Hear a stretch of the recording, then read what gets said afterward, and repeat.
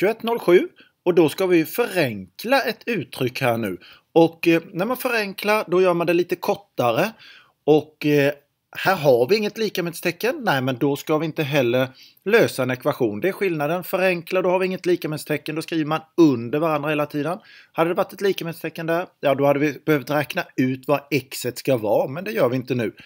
Här när vi har 5 minus parentes x plus 2 gånger en annan parentes x plus 1. Då måste vi börja med att utveckla detta.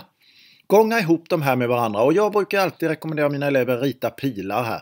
x gånger x, vad blir det? Jo, det blir x upphöjt till 2. Sen så har jag x gånger en plusetta.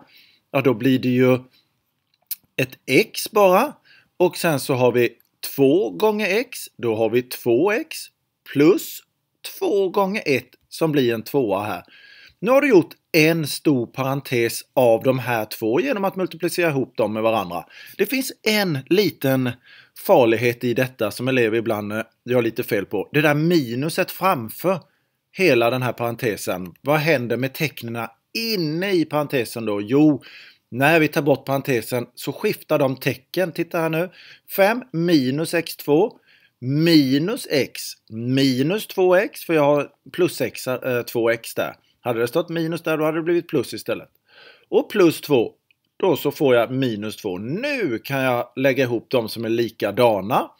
Det vill säga femman minus 2 blir en trea. Tecknet innan siffran hänger ihop. Minus x2, det är bara de vi har så den står kvar, minus x2.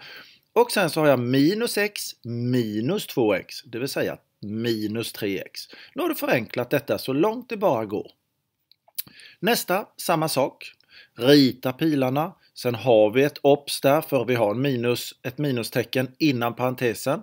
Men gånga ihop först de här parenteserna med varandra så kommer det gå jättebra.